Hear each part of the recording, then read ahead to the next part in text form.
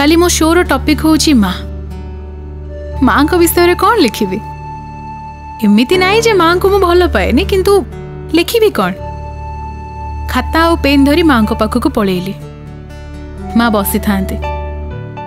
ତାଙ୍କୁ ଦେଖିକି ଲେଖି ଚାଲିଲି ପଦେ ପରେ ପଦେ। ମା ହସୁଥାନ୍ତି। ମାଙ୍କୁ କହିଲି ତମ ପ୍ରଶଂସା କରି ଲେଖିଛି ବୋଲି ହସୁଛ କ'ଣ ମ? ହେଲେ କ'ଣ ଲେଖିବି ତମ ବିଷୟରେ ଯେ ଏତେ ଅଧିକା? ମତେ କାହିଁ ଭଲ ଲାଗୁନି ମୋ ଲେଖା? ମାଙ୍କୁ ପୁଣି ପଚାରିଲି। କହିଲ ତମକୁ ବର୍ଣ୍ଣନା କରିବା ପାଇଁ ମୁଁ ଆରମ୍ଭ କୋଉଠୁ କରିବି? ବୋଧେ ସେଇଠୁ ଆରମ୍ଭ କରିବି। ଯେତେବେଳେ ମୋର ଜନ୍ମ ବି ହେଇନଥିଲା ଡାକ୍ତର କହିଲେ ପରିସ୍ଥିତି ଖରାପ। ଜନ୍ମ ବେଳେ ଛୁଆ ବଞ୍ଚିବ ନହେଲେ ମା। ସମସ୍ତେ ତମକୁ ବଞ୍ଚେଇବା ପାଇଁ କହୁଥିଲା ବେଳେ ତମେ ହିଁ ଏକା ଯିଏ ଚାହୁଁଥିଲ ମୁଁ ବଞ୍ଚେ ବୋଲି। ତମ ଆଖିର ତାରା ମୁଁ ବୋଲି ତମେ କହୁଥିଲ ନା ମା?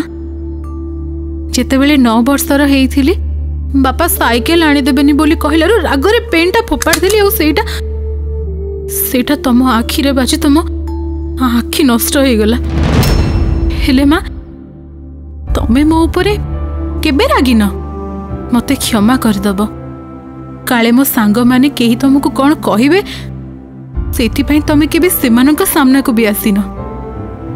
ମୁଁ ତମ ଜୀବନ ବୋଲି ତମେ ସବୁବେଳେ ମୁଁ ଖୁସି ଚାହଁ।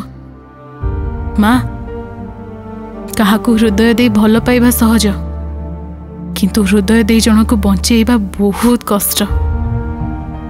ତମେ ମୋର ସେ କଷ୍ଟ ବି ନିଜେ ଉଠେଇ ନେଲ। ଚୁପଚାପ।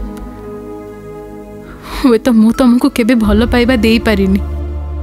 କିନ୍ତୁ କିନ୍ତୁ ତମେ ନିଜକୁ ଭଲ ପାଇବା ପାଇଁ ତମ ହୃଦୟ ମତେ ଦେଇ ଦେଇ ଚାଲିଗଲ?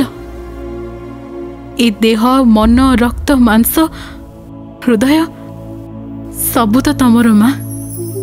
ସବୁ ତମର। ତମେ ମୋ ଭିତରେ ବଞ୍ଚିଛ।